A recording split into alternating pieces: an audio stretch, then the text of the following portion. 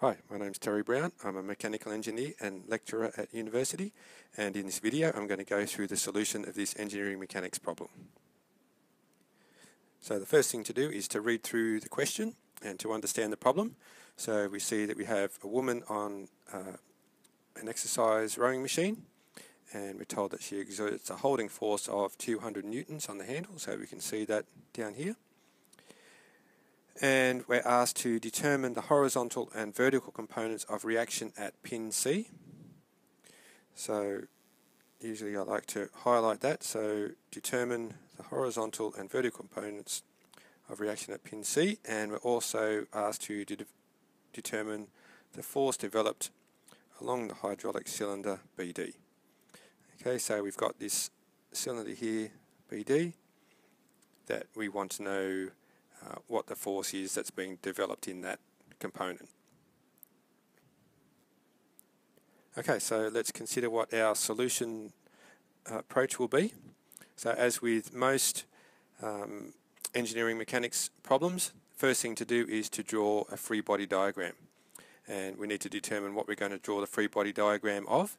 And in this case, because we want to know the force that the cylinder exerts on the handle, a, B, C, and we want to know what the reaction force at C will be on the handle A, B, C, then the thing that we draw the free body diagram of is that handle ABC. So once we've done that, the next step would be to apply our equations of equilibrium. And then once we've done that, solve for our unknown reaction forces using those equations.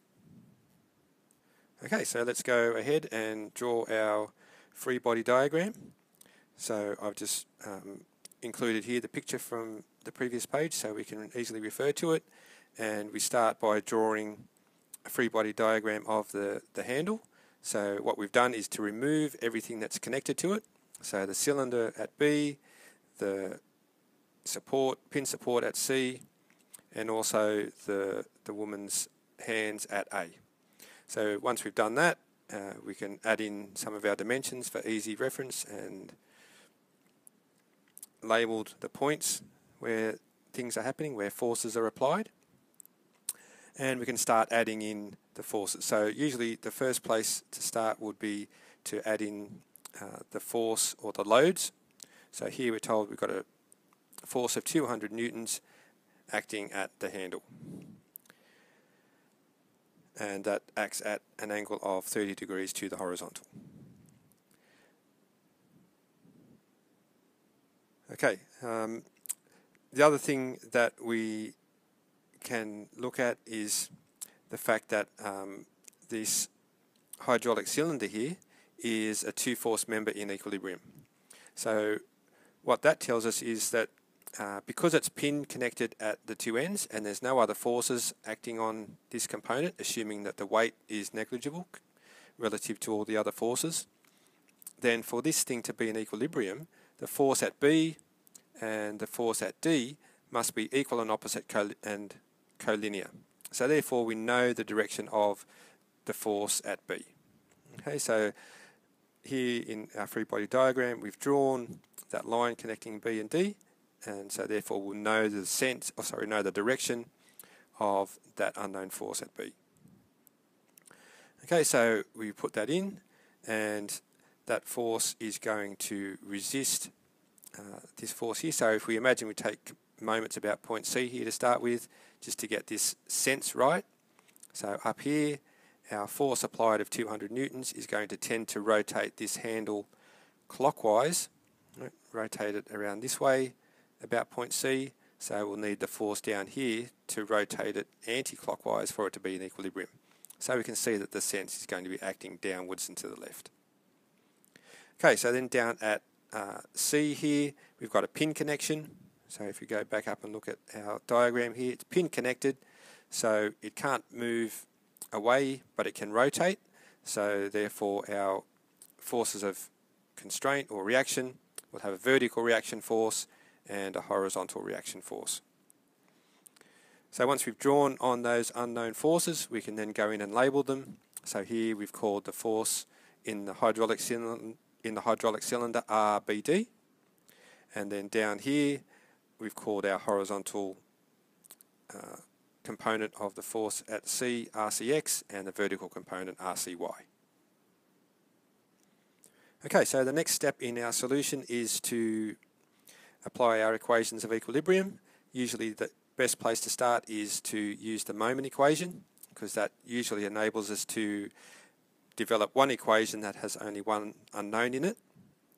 And we can see here from the equation or the formula that I've written, sum of the moments about point C. So a little subscript here indicating that I'm going to take moments about point C. And the reason that I do that is because both RCX and RCY both pass through point C, so therefore their moment effect will be zero about point C. So then the only unknown that we're going to have in the equation will be our unknown cylinder force RBD.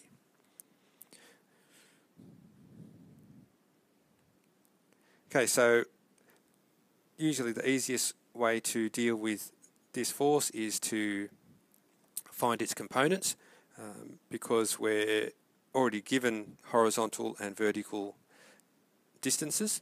We could try and work out the perpendicular distance between this point and the line of action of RBD, but that could be a little bit tricky trigonomet trigonometrically. So uh, here, because we're already given all of these distances, finding these vertical and horizontal components and then finding the moments of those will be the easiest approach, in my opinion anyway. So we've put in the angle there, uh, we're not actually given that angle, we're just given some dimensions. So you need to use trigonometry to work that out. So inverse tan of, um, so we've got here um, 0.25 is this distance here, and this distance from D to C is all of this length. So 0.15, uh, sorry, don't want all of that length, we just want this length here. So from here to here is the length of the side of this triangle. Okay, so that's going to be 0.9, so the inverse tan of that will give us our angle theta.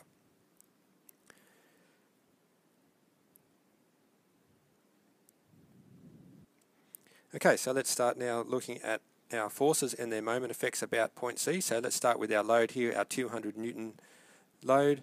Again, uh, probably the easiest thing to do because we're already given all of these vertical and horizontal dimensions is to use the components that I've drawn in here. Now, um, one thing that we've had to do is to make an assumption. So in the, the diagram here, we're shown that the force is applied at this handle here, but we're not given any information about the length or the angle of this little bit that sticks up here. So what I've had to do in order to continue this solution is to assume that this force here passes through point A. Okay, so that this force is actually aligned with this little bit that sticks up, right? Because we're not actually given any information about uh, that little bit of the handle.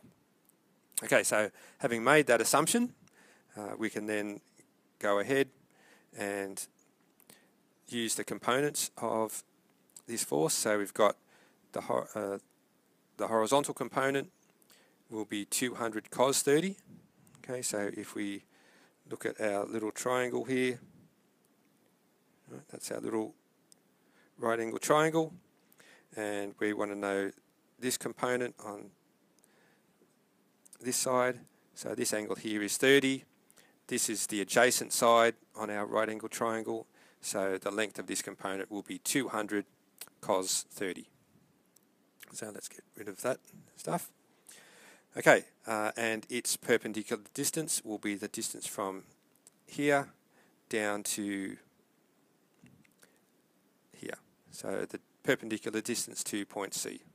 So again, um, if we draw, continue this line of action across here, the perpendicular distance from the line of action of that force to point C right, is that distance there, which is 0.5, which is what I've shown in my equation here.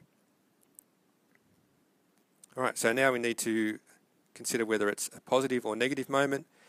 So we've assumed anti-clockwise is positive. Uh, this force here is pushing around to the right. So if you imagine that this is pinned here at C, this force here is going to cause this to rotate around in this direction. Okay, so that's going clockwise, so that will be a negative moment. Okay, so we can put in negative there.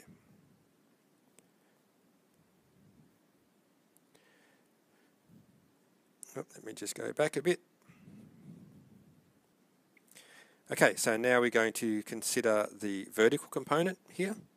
So that will be uh, 200 sine 30 degrees because it's the right, this opposite side of that little triangle that we looked at. Okay, so and its perpendicular distance will be this distance here. Okay, so there's our line of action of the force. This is our perpendicular distance d, so that will be 0.75 plus, plus 0.15, which is 0.9. Okay, so now we need to consider um, whether it's a positive or negative moment. So again, if we look at our force here, pushing up, imagine it's pinned at C, this is going to tend to rotate that bar around clockwise. So once again, it's a negative moment. Okay, so we put that in there. Okay, so now we need to consider the force here, RBD, and once again, we'll use the components. So first off, we'll use the horizontal component here, RBD cos of this angle, again, because it's the adjacent side of this little triangle here. So RBD cos 15.52 that we found down here, times its perpendicular distance, and the perpendicular distance this time will be this little distance here, which is 0.25. Again, let's see whether it's positive or negative moment. So this is our force here. Imagine, it, imagine that it's pinned about C, so that's going to tend to rotate around like that. So that's an anti-clockwise direction. So this moment is going to be positive. Okay, so we can put that in, in our equation up here. Okay, so now we need to deal with the vertical component here. So that will be RBD sine of this little angle. Okay, so this little side, opposite side of this little triangle. So sine 15.52 and its perpendicular distance, so its line of action is down here, perpendicular distance to C is this little distance in here, 0.15. And again, consider whether it's uh, positive or negative. So looking here, it's pushing down, pinned about C, so that's going to tend to rotate in that direction. Okay, tend to rotate anti-clockwise about C. So again, that's a positive moment. Uh, no other forces acting, and our, apart from our reaction forces at C, which pass through point C, so we can now write all of that equals zero. Okay, so now we just need to do some algebra. Uh, we've got one equation, one unknown, uh, but two terms for RBD. So if we do the maths, rearrange the equation, we get 628.4 newtons for RBD. Okay, so now we can go ahead and start using uh, one of the other equations of equilibrium. So here I'm going to use sum of the forces in the horizontal direction equal zero with to the right positive. So we'll just work our way through each of the force forces and force components. So starting off with RCX, that's uh, acting to the right, so positive, minus RBD cos 15.2, so this horizontal component, and the horizontal component of the applied force 200, so 200 cos 30, and all of that's equal to zero. So we can now solve for our one unknown RCX because we already solved for RBD up here.